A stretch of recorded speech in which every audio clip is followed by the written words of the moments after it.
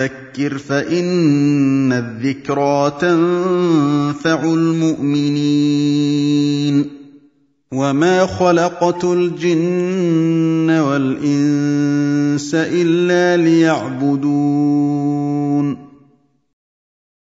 Tous les actes qui sont un moyen d'amener au polythéisme majeur, c'est du polythéisme mineur.